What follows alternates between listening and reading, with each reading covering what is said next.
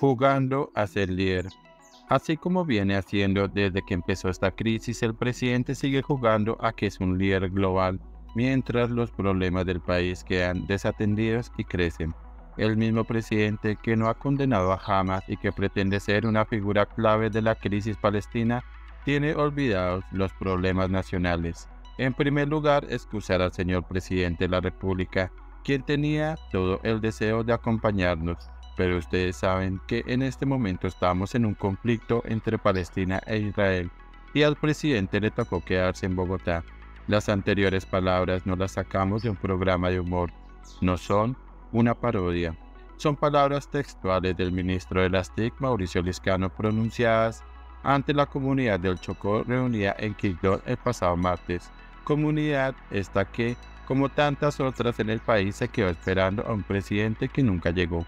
Seguramente los habitantes del Chocó, que es una región llena de necesidades y donde Gustavo Petro ganó con un 82% en segunda vuelta, esperaba ver allí al jefe de gobierno de su país para hablarle de sus problemas y para que él, a quien tan fervorosamente apoyaron, les ofreciera soluciones.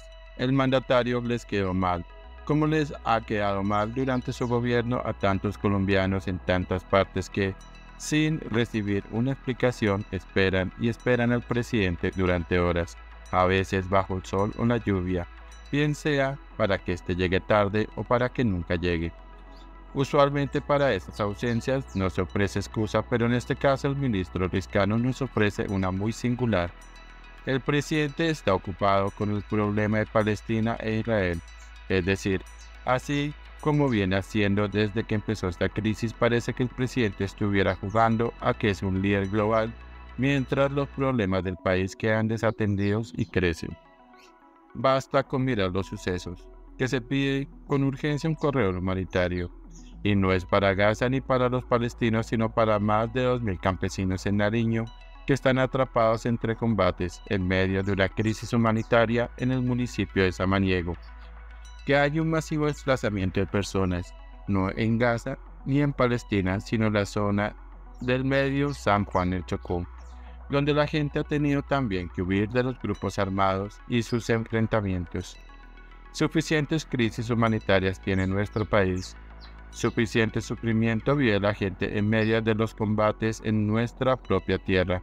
Pero el presidente no tiene unas horas disponibles para ir al Chocó porque está concentrado en la crisis de Medio Oriente. Aun cuando nada puede disculpar la negligencia en su labor como jefe de Estado, la cosa sería menos grave si en verdad el presidente Petro fuera, como lo pretende, una voz seria, central y ampliamente escuchada en esa crisis global.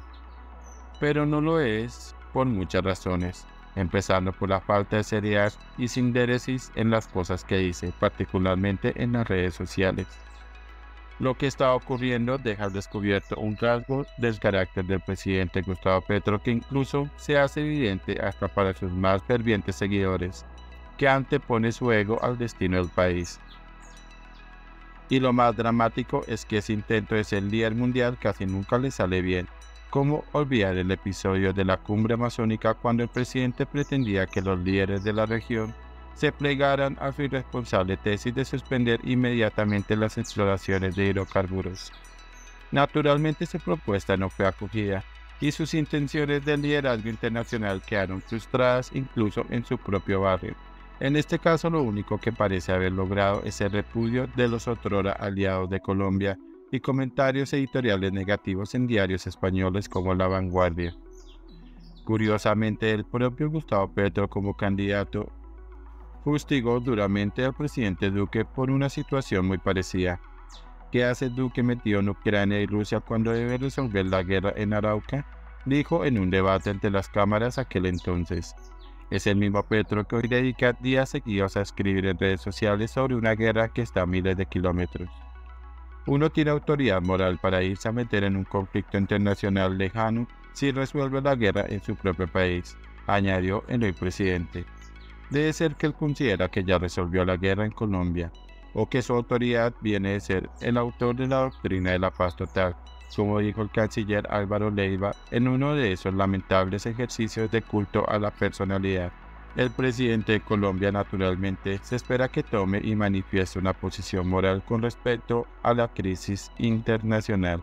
Eso fue lo que hizo Duque frente a Rusia y Ucrania, condenando la agresión rusa que por cierto jamás condenó, quien al día de hoy tampoco ha condenado la terrible masacre de Hamas. Lo que no se espera del presidente de Colombia es que dedique su tiempo a jugar a que su papel en esas crisis mundiales es central cuando no lo es y mientras tanto deje crecer los problemas y las angustias en su propia tierra.